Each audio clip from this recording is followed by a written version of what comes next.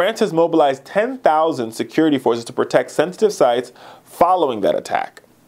So, you know, after this terrorist cell was found and the manhunt was over, basically what the French has done is they've deployed um, 10,000 troops to protect sensitive sites, including Jewish schools and neighborhoods, you know, government buildings, anything they think that, you know, could sort of be harmed in the next round of self-grown terrorism.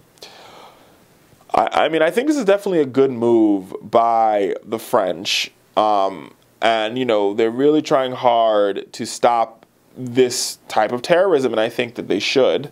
I mean, who thinks they shouldn't, right?